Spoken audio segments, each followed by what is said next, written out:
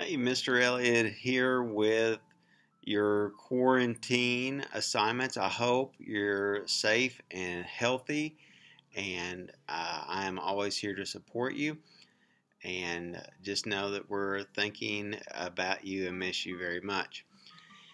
Okay, first, a little sheet that says Getting Started on My Work helps me to become a strong learner, and we are leaders in this classroom.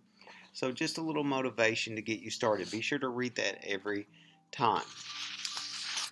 I've got a multiplication table. Be sure to use that. We've talked about that in class, but be sure to use that to help you solve the multiplication problems.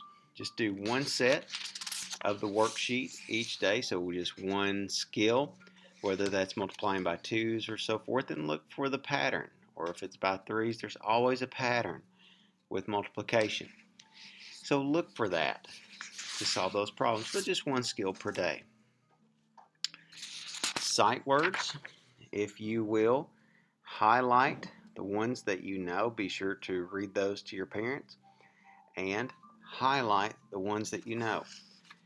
Finally, I want to know how you're doing.